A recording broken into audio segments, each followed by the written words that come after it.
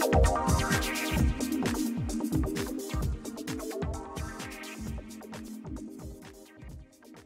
Hello, everyone. This is Debra Richardson, and today I am putting the AP in Happy where accounts payable teams are empowered to protect the vendor master file from fraud. This podcast will give a voice to accounts payable team members by talking about the growing reality of cyber attacks in their world and which vendor setup and vendor management techniques they can apply to protect the vendor master file from fraud. Today's podcast episode is brought to you by the five day vendor master file cleanup. Do you trust the data in your vendor master file? Well, if you have less than 5,000 active vendor records and need to prepare for a vendor self registration portal or for 1099 and 1042 IRS annual forms distribution, you are in luck. We have vendor validations, including watch list screening, duplicate vendor review, vendor inactivation recommendations, and more. Go to debrarrichardson.com. That's D E B R A R R I C H A R D S O N.com slash consulting or email me at Debra, D E B R A, at Debra rrichardson.com for a quote today. Today's episode will highlight a common issue in vendor master files the lack of a valid vendor email address. Today, I have nine tips that you will want to hear to find those missing vendor email addresses. Keep listening.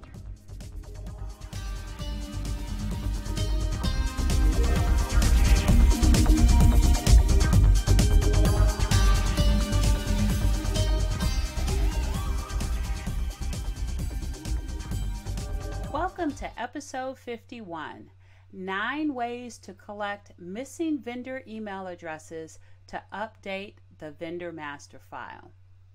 So, if you're getting ready to implement your accounts payable automation, such as dynamic discounting or a vendor portal project, what do you need to increase adoption? A valid vendor email address. Lack of a valid email address in the vendor master file can have the following five effects in accounts payable. So, number one is with a vendor portal implementation slash AP automation project. Not having a valid vendor email address removes the option for vendor email communication, letting them know about the upcoming change and also the subsequent use of the solution. Number two, working capital solutions. So, not having a valid email address for your vendor can decrease the participation or enrollment from vendors because they are unaware of alternative payment options.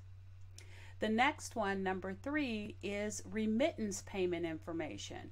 So if you don't have a valid vendor email address, you can't send the remittance information, which increases calls to the AP help desk requesting invoices included in a payment due again to not receiving that remittance information. Number four is with purchase order delivery. So if you don't have an email uh, address in some accounting system and ERPs, no purchase orders can be sent automatically. And the last way not having a valid vendor email address in your vendor master file can affect accounts payable is vendor record confirmation. So not having that vendor email address affects the ability to reduce the potential for fraud in the vendor master file by sending email confirmations for the requested changes. Now, not having that email address means you cannot send those email confirmations. Now, I do have a podcast that talks about sending email confirmations to vendors after changes. It is episode 42 if you like to check that out. So now that we've talked about the effects of not having a valid vendor email address in your vendor master file. Let's talk about those valid emails and how we can get them. And one thing I'd like to point out first is that it's not just valid emails that we want for the vendors, it's the right emails. So, which emails are needed for the vendor master file and how do you get them? So, most accounting systems, ERPs, have a separate email for remittance information, which may be a generic email, ar at abccompany.com. Um, collect this one and make sure it's in the correct field on the vendor record that's needed to push the remittance to the vendor. And some ERPs will clearly identify two, again, separate fields one for contact information or contact email address, and one for a remittance email address. It's also good practice to require at least a remittance email address at vendor setup. And I know a lot of people require it, or a lot of um, vendor maintenance teams will require an email address at vendor setup, but they don't always require a remittance email address unless the payment method is EFT. And what I'm saying is that with all vendor setups, require at least a remittance email address no matter the payment method. So next, you want to collect the names and the email addresses of the points of contact. So your contact information, um, and you you you will use that to validate vendor record changes recording multiple contacts if available is better and that will give additional options for confirmations and will assist with authentication if those contacts call or send an email to the AP help desk for assistance. Lastly, you want to identify those purchase order vendors that need an email address to automate purchase order delivery. Again, that can be a separate email address from the remittance email address and from your contact email addresses. So we have identified three different types of email addresses that you may need in your vendor master file.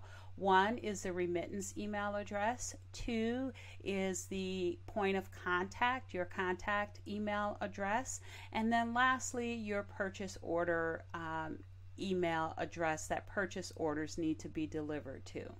So, how do you find those missing email addresses? So, for those that need to obtain missing email addresses for existing vendors in the vendor master file, here are nine ways to get either the email address or the contact information to request the applicable email addresses from the vendor. Number one, invoices. So pull invoice hard copies or their images and invoices can contain not only remittance email addresses, but also purchase order delivery email addresses as well as uh, contact email addresses. Number two, purchase orders. So, email addresses may be for purchase order delivery only or they can contain purchase order contact email addresses that you may be able to reach out to to find the applicable email addresses for accounts payable. Number three is contracts. Now, contracts may include payment instructions, which may have the accounts receivable email address or the points of contact. Number four, this is a manual process and it takes some time, but it may be necessary if you do not have any documentation on hand, or if the documentation you do have does not include email addresses.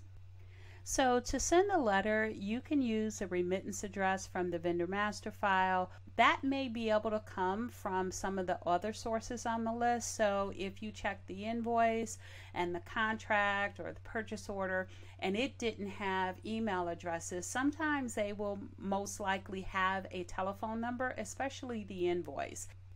So, number five is stakeholder groups in your company.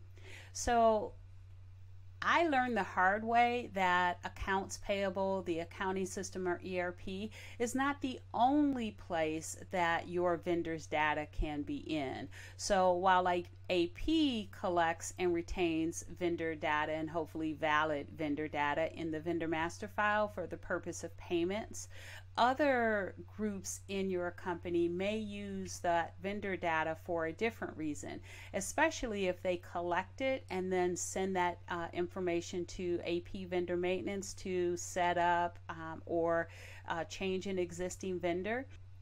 So, even though that's a scary thing, and that whole master data governance um, is another topic for another long podcast you may be able to take advantage or find some value in the fact that they're collecting information and then reach out to those groups to obtain whatever email addresses they have. So, number six is your third party AP solution. So, many third party solutions collect vendor email addresses and other contact information. So leverage those solutions at your company since that may have, or those solutions may have more up to date information, especially if the vendor is logging in to update their data, to add invoices, for example, if it's an e invoicing solution. Leverage those. You may get points of contact, you may get remittance uh, emails. So take advantage of the fact that you have another place where you can get uh, vendor information. Number seven, LinkedIn company pages. So, LinkedIn, if you don't have a valid company website in your vendor master file, you can go to LinkedIn company pages and it can provide you with a valid URL to the company website. And that brings us to number eight, which is the company website. Now, you can get from the company website most likely at least a generic email address or telephone number that you can call and request more specific information from, um, let's say, the AR team if you ask for them when they call. So you can use those generic email addresses, generic phone number to call and request the correct email addresses for the remittance, for the purchase order and also for the contact. Now, the very last one is if you have, if you're one of the companies that have multiple ERPs, you can look at other vendor master files. Check each system for at least the starting point, but be careful since different systems may mean that it's different types of spend, different company entities, and those email addresses and contacts can be different. But again, it is a starting point. So, just a quick recap of the eight ways to find the applicable email addresses from the vendor. One is invoices, two are purchase orders, Three are contracts. Four is call or send a letter to the vendor. Five is stakeholder groups in your company. Six is third party AP solutions. Seven is LinkedIn company pages. Seven is company website. And eight is your other vendor master files. So, those are the eight ways. And a quick reminder that if during this email search project you identify existing email addresses that need to be updated, Send a confirmation to the old email address as part of your internal controls to protect the vendor master file from fraud. Again, that information is, along with more, is included in episode 42. Send a notification to vendors after updates in the vendor master file, episode 42. So, I'd love to hear what additional ways you have used to update the vendor email addresses in your vendor master file. So, be sure to comment on the platform that you use to listen. So, thanks everyone. I hope you enjoyed the 51st episode of the Putting the AP in Happy podcast, where accounts payable teams are empowered to protect the vendor master file from fraud. Don't forget to check the show notes for the links mentioned in the podcast. If you enjoyed this episode, consider subscribing and writing a review of my podcast on the platform that you use to listen. Stay happy.